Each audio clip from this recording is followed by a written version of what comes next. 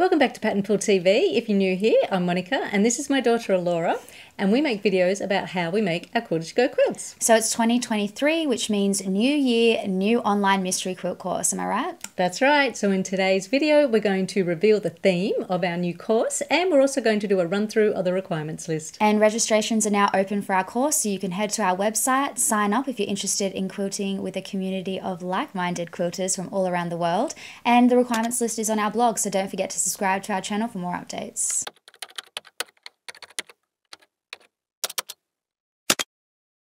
So each year since 2020, Mum and I have been combining our skill set to do an online quilt course. So my love of applique and illustration and Mum's love of quilting and construction and teaching and techniques to bring a quilt course that's extremely fun and also open to anyone all over the world, right? That's exactly right. So in 2020 and 2021, our quilt courses were quilt to go quilts that were just using squares.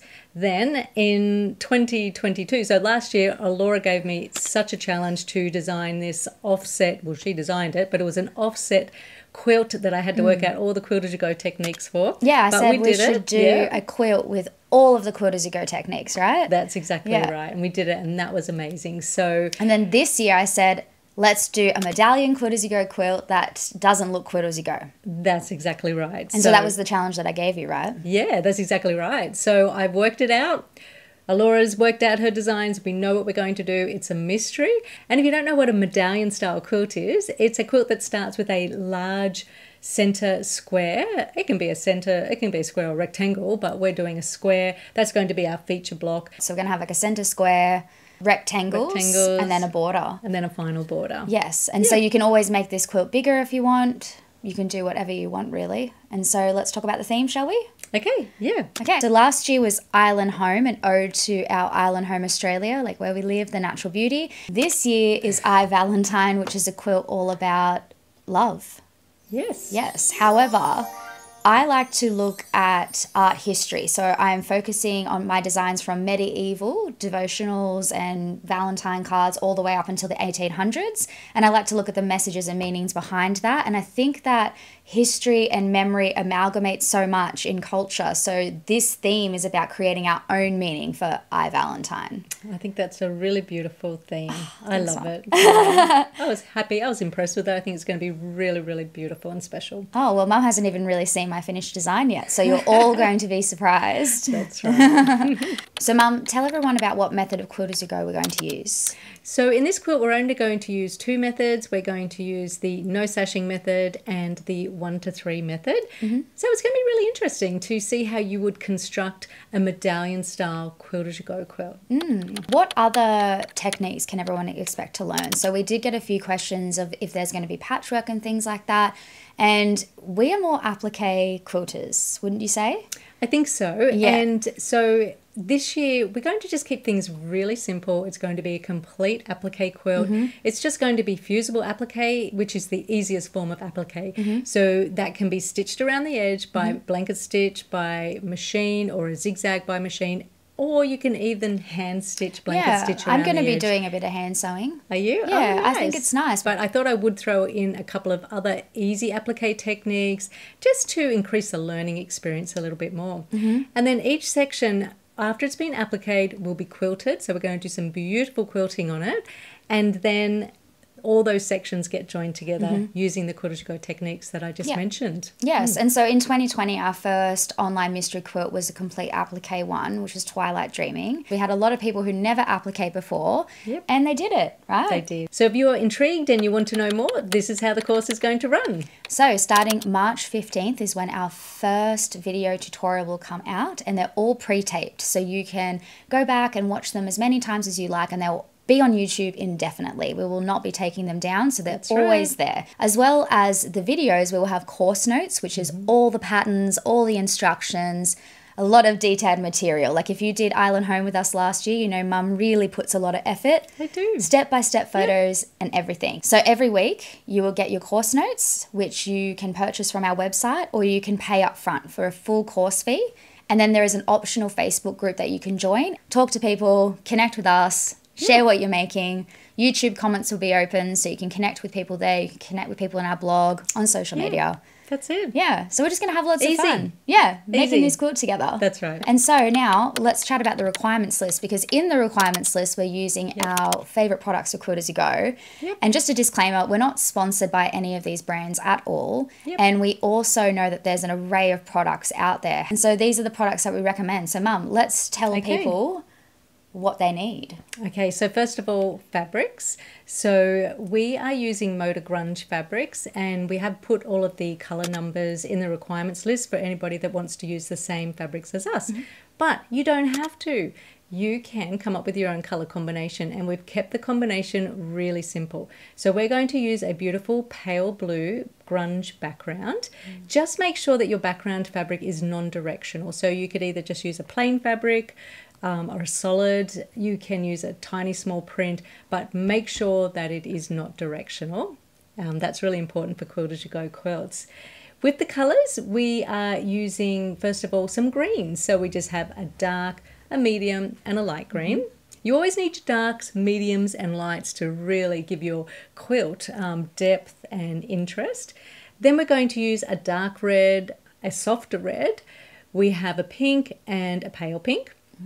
Then we have a beautiful gold, a lighter gold, and a white. Mm. And that's all it is. So it's basically 10 fabrics. So with your 10 fabrics, you need either 30 centimeter pieces off the bolt or 12 inches off the bolt, which I think is a third of a yard. That's going to be plenty of fabric. We want to make sure that nobody's going to run out. But as we said, Batiks would look great. You can use small prints. You can use your stash. You mm-hmm. don't have to use exactly what we're using. Yeah, you could really do whatever you like. Yeah, Yeah. Just keep all of your fabrics to um, either mottled or very small or tiny prints so that the applique really stands out. It lifts off the background. Yep. Yeah. Um, now, all of those requirements are actually in the requirements list, so I'm just basically talking about what you actually need. The next thing from there is you'll need your backing fabric, so that's what's on the back of the quilt. Make sure that your backing fabric, once again, is non directional. Use a small all over print that ties in with the colour of your background fabric on the top of the quilt. That way, you can use the same thread to do your quilting on the top and on the bottom, and that just means that we're going to have no tension issues. You don't have to worry about trying to balance a light and a dark thread. Just use the same thread for the hmm. quilting. And so that's this is again is your thought process of functionality, simplicity, and keeping it easy. That's what I try Yeah. to do. I've been Yeah. teaching for so many years and I've just learned let's just keep it simple. yeah, keep it simple. Let's make the theme for this year simple. Really simple. Let's kiss. Keep it simple. Yeah, keep stupid. it stupid. so now with the applique, you will need a fusible web. So there are many different brands out there, and in the comments, let us know what your favorite brand is mm-hmm. because other people that are new will be like. I don't know what brand to get, and if someone in the group has recommended it or in the comments, it's mm-hmm. going to make it easier for everyone.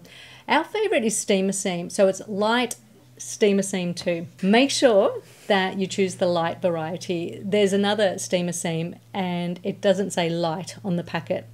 The glue's a little bit too heavy in that, so always stick with the light one. It gums up your needle. Yeah, that's right, exactly. So the light variety. Mm-hmm. When it comes to sewing the applique, you're just going to need some thread. So what we're going to do is we're just going to do a simple blanket stitch around the edge of our applique and so therefore I've just chosen um, it's like a dark grey or a charcoal color and I'm using a Madeira brand thread. So make sure the thread that you're using um, I'm using a, a shiny rayon machine embroidery thread.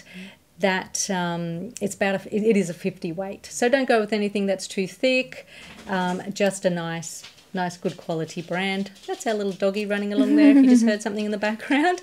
Um, and then I like to use a bobbin fill in the bobbin. And the reason why I do this is because a bobbin fill is a finer thread. Normally they're a 40 weight. So that just means that you're not going to get a big chunky stitch which is going to bunch up under the foot as you're sewing. If you did decide that you wanted to do the little zigzag around the edge which we will show everybody how to do this. Mm-hmm. You're probably better off choosing threads that match your fabric. So just go with your rayon machine embroidery threads. There's plenty of brands. As I said, we're using Madeira. There mm. are other brands. So let everybody know in the comments what brand you're going to be using.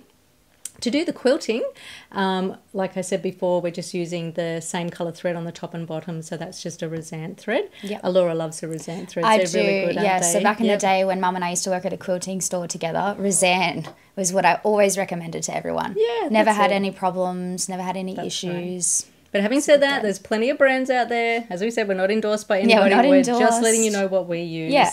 So when it comes to needles, you're just going to use two different um, kinds of needles. You will need a size 80 quilting needle. Mm-hmm. Um, I'm actually going to be using a titanium one. I found those when we were doing. And have little- you used it before? No, I haven't, but I've heard good um, reports. People say that they stay sharper for longer Mm. and the needle will last longer. So let you know as we're making the quilt. I'm Yeah, it's we'll give it a review. And then for the machine applique, I'm using a size 75 machine embroidery needle. And we also found these ones, I found at last course, anti glue needles. So that means that when you are stitching through the fusible web glue, you, it's not going to gum up the needle. And they actually work really well. Cool. So highly recommend those ones there. Now, batting. So when it comes to batting, just use a nice flat low loft batting, something that's not going to melt under the iron because when we're mm-hmm. doing quilt as you go, we are um, doing a lot of ironing. Mm-hmm. We always try and make sure that the iron doesn't touch the batting, just in case it does. Try to choose something that's not going to melt under the iron. So I just use cotton batting. So cotton Yeah. batting with a scrim. This year we're going to be using Matilda's Own Pure Cotton Batting. Mm-hmm. That's um, batting from Australia. So we thought we'd, um, of course, support Australian company. Yeah. Last year we actually used Warm and Natural. So Yep. that's an American brand, um, very readily available. And it was a yeah, great that was product. great product too. So Yeah, was Yeah. a really good product. And a lot Yeah. of these products, like if you're international, you could probably find through Googling. But as well, we've had a lot of quilt stores say that they're open to helping anyone Yeah. source anything and then they can post it to you. So you could always do something like that. That's exactly right. Yes. All right, so let's talk about the equipment that people will need. Okay, so as I said, I like to keep things simple. So you're going to need your patchwork ruler, so a 24 inch by six and a half inch ruler. That's the standard one most people start with. You're going mm-hmm. to need your cutting mat, mm-hmm. and you'll need a rotary cutter. And in this course, I'm actually going to show everybody how to cut out all of their squares and rectangles because they're all different sizes and they're bigger pieces. So I want to make sure that everybody cuts everything out mm-hmm. The way it should be cut out. I always try to avoid the word perfect because really, I don't like the word perfect. None of us are perfect. Yeah, it's like it, doesn't exist. That's exactly you know. right. Um, you're also going to need some scissors, so you'll need your standard scissors, some fabric scissors, some nice scissors for cutting out applique shapes. You're going to need some safety pins. Um, so try to get the quilter's safety pins. That's what we're going to do to hold our layers together when we go to do the quilting. Some fabric glue. So I always like to use the Sewline fabric glue pen. You can also use Roxanne's glue based if you like that, or you can just use like a kid's glue, As long as it's washable, non toxic, and acid free. acid free. That's exactly right. Always test things um, Yeah. Mm-hmm. first of all to be on the safe side. You're going to need some batting joining tape, but that is actually optional because you can like hand stitch Mm-hmm. if you want to the batting together. I like to use batting joining tape, so that's just a two inch wide nylon tape Mm-hmm. that you iron over two pieces of batting that you've buttered together, and it just holds them together. Different brands. I'm using Matilda's own.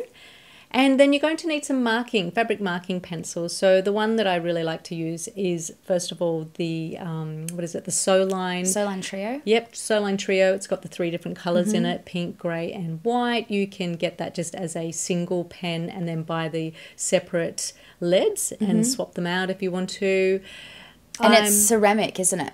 It is ceramic. Yeah, so it's yes. quite, it's really nice and nice and smooth. That's exactly right. And so you should make sure when you're using those, don't press too hard. Mm-hmm. You can always rub it out or it will wash out. So it's mm-hmm. nice and safe for your fabric. The other Sewline pen that I really like to use at the moment, or the marker, is the Duo marker. Mm-hmm. So that's the one you've got um, one pen that's kind of like a brown color. You mark that onto your fabric. It's good when you're quilting because it helps Yep. you to be able to see your marks a little bit better. And then you use the other pen to wipe the mark off. That's quite good. Um, and sometimes in the video, maybe I might get out a friction pen. Um, friction pens, I always say, uh, use at your own risk. Some people like them, some people don't. But I'll, we'll talk about that in the, the In the course. When it comes to machine accessories, well, you need you will need um, your machine in good working order, and we're just going to need an open toe foot for the applique. Seriously, go and get one. These make such a difference. It it provides clear vision. You'll be able to easily see where you're sewing. Mm-hmm. And a walking foot. So this is my walking foot. It looks a bit different to other walking feet, but all brands have walking feet that look a little bit different. Yeah. So you will need that for the quilting. Um, you and just your standard feet, standard sewing supplies. Um, can we think of anything else we're going to need? Oh yes, I did think of one thing. Mm-hmm. Um, a light box is optional, isn't it? Yes, yeah. yes. But if you if you can't get a light box, you can always make one. We made one one time. We are just did. using like clear bit of plastic in a box and we put a light underneath it. Yeah, that's light box. Yeah, light, light, box. Yes, you always stick exactly it to right. a window. Oh, yeah, that's right. I mean, it does help. Some people actually, some people have said they got an app on their iPad as well. Oh, yes. So you'll also need a printer because all the course notes are PDF, and mm. then you can also print your applique shapes straight from your computer onto Fusible Web. So that's basically everything you need for our 2023 online mystery quilt course. Yep. And so registrations are now open on our website. It's 110 Australian dollars if you'd like to join and pay up front, or you can just wait until the course notes are released weekly, which is 11 Australian dollars. Once you register, you can join the Facebook group and start connecting with other quilters, or you can connect with everyone through the comments. So we hope you're excited because this course is going to be very fun. Right? It's going to be it's going to be so much fun. So if yeah. you would like to recommend any products, um, if you've got any questions, just leave us a comment. Thanks for watching. Bye. Bye.